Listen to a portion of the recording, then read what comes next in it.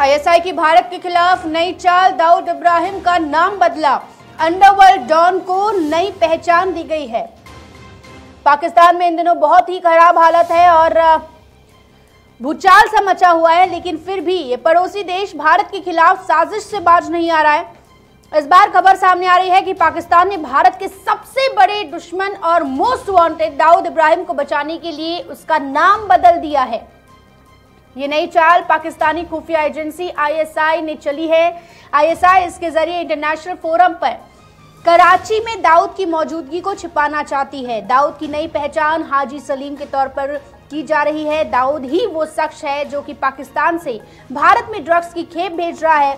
हाजी सलीम नाम के इस ड्रग तस्कर का डिजनर दुनिया में किसी और देश के पास नहीं है। बताया जाता है कि दाऊद ही हाजी अली के नाम से समुद्र के रास्ते भारत में भारी मात्रा में ड्रग्स भेज रहा है।